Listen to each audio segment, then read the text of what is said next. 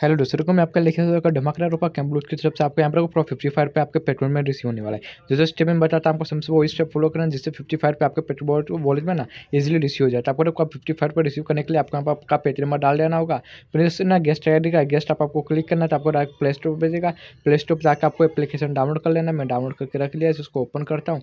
Open करने के बाद आपको इसके अंदर साइन अप करना जिससे आपको फिफ्टी फाइव पर इजीली रिसीव हो जाए। तो आपको सामने कोई एप्लीकेशन मैं अपने मोबाइल में इंस्टॉल कर रहा हूँ। इंस्टॉल करने के बाद मैं इसको ओपन करता हूँ। ओपन करने के बाद आपको ऐसा इंटरफेस आ जाएगा। आपको नीचे लॉगिन का ऑप्शन देगा वहाँ पर क्लिक करना है। तो आपको यहाँ पे एक्सेप्ट पर क्लिक कर जाए। फिर आपको मोबाइल जब भी मिला होगा खुल जाएगा। कोई भी की मर्ज़ी आपको साइनअप करना पड़ेगा। यहाँ पर कोई भी की मर्ज़ी साइनअप कर लेगा। साइनअप करने के बाद आपका साइनअप हो जाएगा सक्सेसफुली बस आपको इतना प्रोसेस कंप्लीट करना था, सिर्फ़ एक सेकंड का प्रोसेस है।